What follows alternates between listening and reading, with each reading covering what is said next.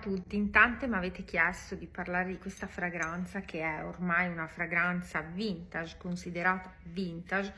È una fragranza nata nel 1993 ed è, eh, il marchio è Revlon, lo sapete, è una fragranza che è cambiata nel tempo perché prima era molto molto più intensa di adesso, adesso risulta un po' più leggera e questo è veramente veramente un peccato. Quali sono gli accordi fondamentali di questa fragranza Charlie Red? Eh, ha tutta una piramide olfattiva molto molto importante perché all'interno troviamo un po' tutti i sentori che piacciono a me quindi troviamo eh, la tuberosa, il lang ylang, il ribes nero, la violetta eh, il muschio, il muschio animale sulla base, il sandalo, è un profumo fiorito ma nello stesso tempo comunque orientale.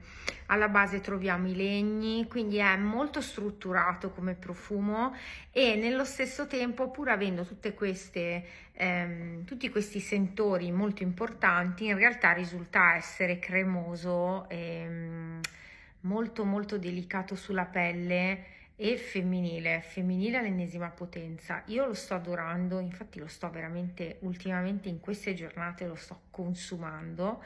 Eh, mi piace tantissimo perché come avevo detto in un vecchio video sa proprio di leocrema, sa di crema, quindi sa um, di crema anche che si mette al mare, crema abbronzante. Quindi io sinceramente lo, lo sto adorando in questo periodo, lo continuo ad adorare e lo, lo, indosso, quindi sono felice.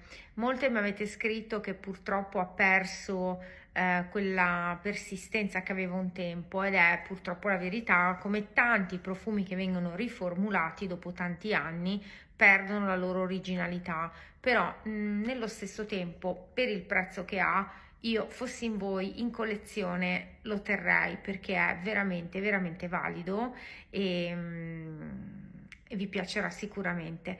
Fatemi sapere se anche voi avete in collezione il Charlie Red oppure se avete gli altri il blu e il bianco ad esempio. C'è anche il gold. Eh, fatemi sapere nei commenti eh, che cosa ne pensate di questo profumo